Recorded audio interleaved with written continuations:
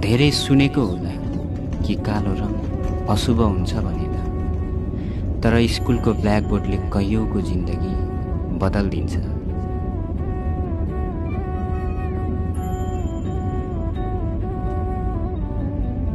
सबै जिन्दगी हामी यही सोचेर बिताइदिन्छौँ कि चार लोकले के भन्छ।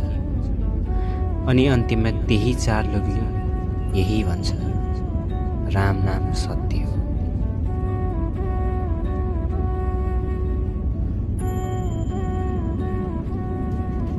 सलाम छ ए जिन्दगी यति धेरै ठक्कर दिएकोमा। हिँड्न नसक्नु नै सही तर सम्हालिनुको खुबी सिकायो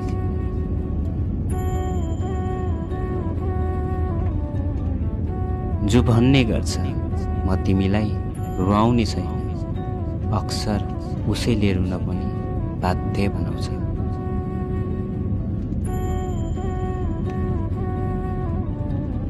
जित उसैको थियो जो लड्न सिक्यो अनि हार उसैको थियो जो लड्नै छाड्यो।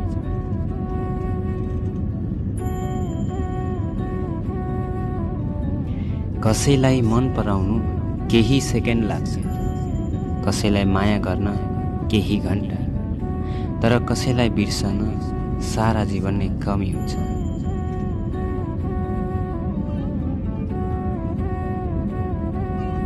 दुःख त्यस्तो एकमात्र चिज हो जसले म अझै जीवित छु भन्ने आवाज दिलाइरहेको हुन्छ।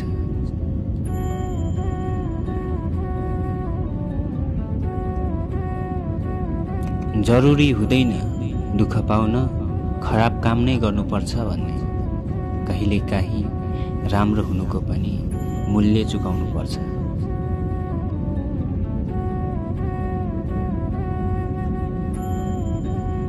राम्रो बन्नु छ भने आफ्नो बाबा आमा र भगवान्को नजरमा राम्रो बन्नु दुनियाँ त तपाईँको सफलतामा नि जल्छ अनि असफलतामा पनि हाँस्छ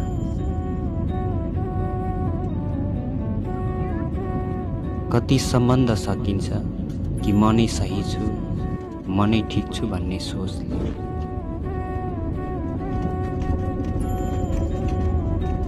कसैले भनेको थिए स्वर ठुलो भए कमैले सुन्छ तर बात उच्च भए धेरैले सुन्ने गर्छ।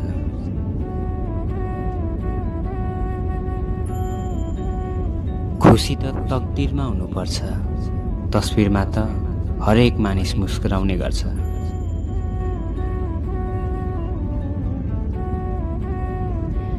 मलाई घमण्ड थियो चाहने धेरै छ मेरो यस दुनियाँमा तर पछि थाहा भयो कि सबै चाहने रहेछ आफ्नो जरुरतले।